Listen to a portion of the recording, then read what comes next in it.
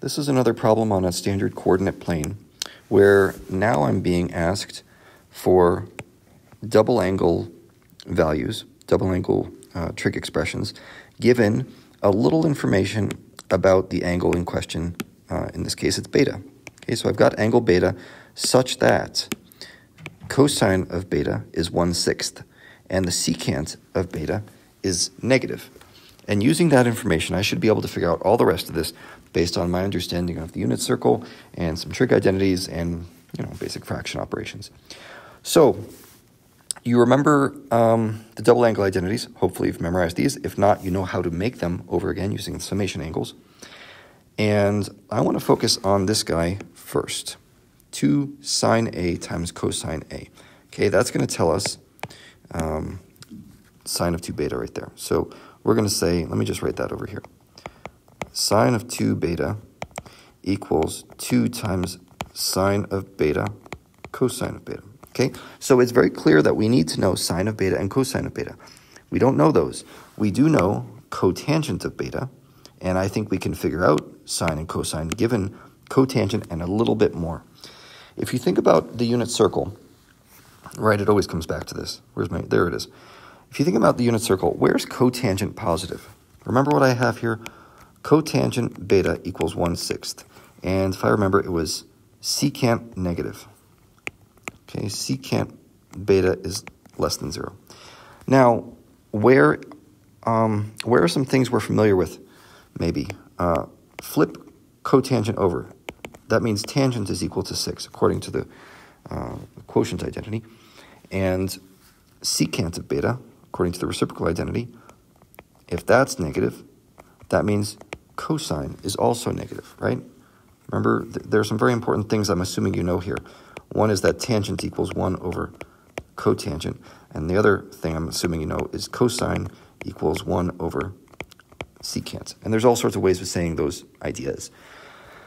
Now, if tangent is 6 and cotangent is negative, I'm sorry, cosine is negative, where are we here? Well, if you look in quadrant 2, that is where you have uh, negative cosine, but you also have negative tangent. So that's no good. I need positive tangents. Well, fine. Squiggle, squiggle, squiggle. Let's erase that. Uh, let's talk about quadrant 3. In quadrant 3, I have cosine less than 0, and I have tangent greater than 0. And that is what I want. Okay, so I know we're in quadrant 3. This is a big victory. Now we can go draw a triangle. Okay, so we, excuse me, let's just draw a triangle right here. It's a quadrant 3 triangle, which means it's going to look something like this. I don't know exactly, but um, let's see. This is beta right here. That's my angle beta, which means um, I can now put some sides on this. Cotangent, if you remember, is adjacent over um, opposite. Okay, this little SOHCAHTOA there. Now, if cotangent is adjacent over opposite, and that is equal to 1 over 6. Let's just put some sides on this triangle. So adjacent is 1, and opposite is 6. Well, that's great. Um, there's a little something wrong here, and you might be able to see it. Remember, we're going into quadrant 3. That means negative values on the x and y axes. Does this still make sense that cotangent is 1 6? Well, I think so, because this is now negative 1 over negative 6, and that is the same thing, that is 1 6th. Okay?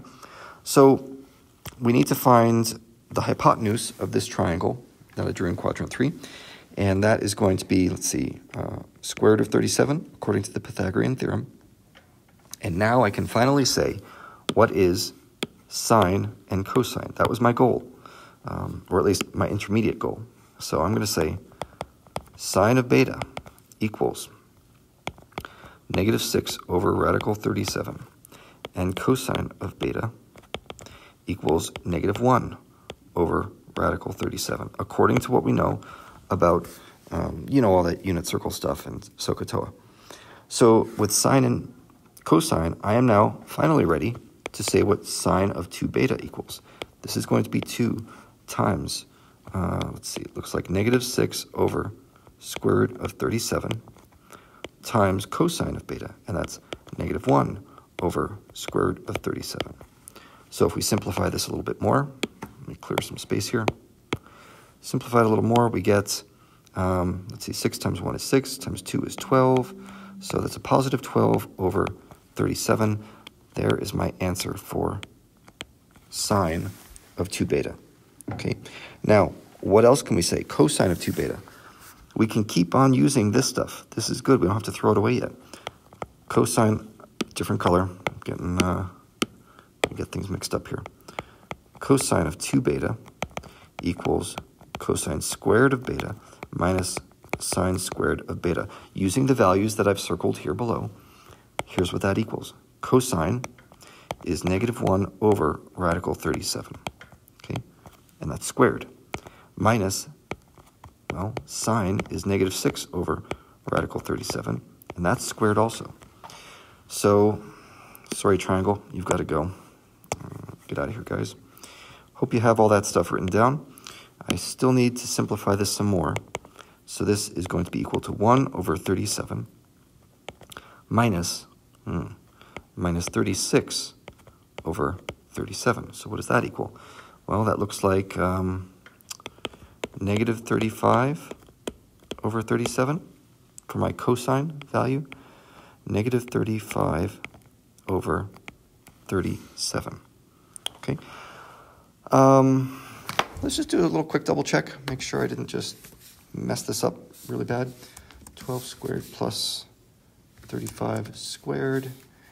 Um, looks good. Okay, so what I just did there to double check myself, and this is very useful for you. Um, I'm going to show you how to know if you got it right or wrong. There's an identity, which is going to come in very handy here, which is cosine of some angle plus sine of some angle equals, drum roll, right? We know this, 1. Okay, it's a Pythagorean identity. So what I just did to double check myself, and this is very, very important, is I said, um, hey, is negative 35 over 37 squared plus 12 over 37 squared, is it equal to 1? Okay, that's how we know if we're on the right track, and it is. So I'm feeling pretty good about this. Now tangent, for tangent, this one should be quick.